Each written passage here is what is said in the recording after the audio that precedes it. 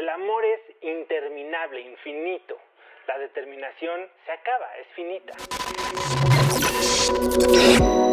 Hace un poquito estaba leyendo una entrevista que le hicieron a Jerry Seinfeld, el comediante. Y el que lo entrevistaba, que era Howard Stern, le decía que él creía que podía forzarse, que podía usar toda su energía, que podía usar toda su determinación, tal vez no para ser el mejor del mundo, pero sí para conseguir todo lo que él quería. Y que eso lo tenía en ese momento sentado en esa silla platicando con Jerry Seinfeld. Y cuando escuché esto, la verdad es que mi primera reacción fue mucho de estar de acuerdo con él. La verdad es que muchas veces en mi vida creí que a base de trabajo duro, de determinación, podía lograr todo lo que yo quisiera, lo que fuera. Y lo peor de todo es que muchas veces sí lo conseguí a base de lo que yo creía que era sudor y sufrimiento.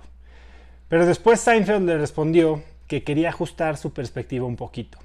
Y lo que le dijo fue que probablemente lo que en ese momento estaba usando, lo que en realidad lo había ayudado a conseguir lo que quería, no era ni determinación ni fuerza de voluntad.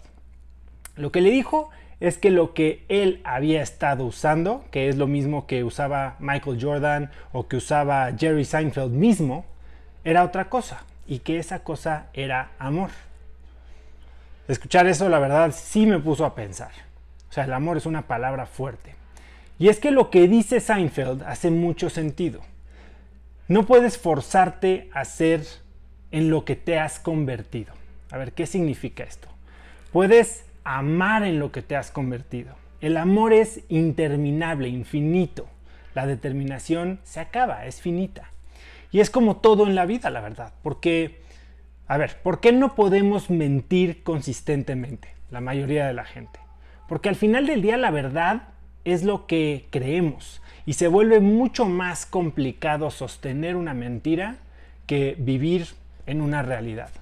Y exactamente pasa lo mismo con tu personalidad, con tus metas, con tu trabajo, con cómo te llevas con tus amigos, con cómo interactúas con tu familia. Todo es lo mismo. Puedes, la verdad es que forzarte a ser quien eres, pero al final del día, lo que va a prevalecer, en lo que te vas a convertir, es en lo que verdaderamente conecta con tus valores, en lo que verdaderamente amas. Así que Deja de pelear con quien eres. Reconoce tu misión y acéptala como esa fuente inagotable de energía. Y vas a ver que cuando dejas de fingir, que cuando dejas de tratar, que cuando dejas de echarle tantas ganas, toda tu vida se empieza a acomodar.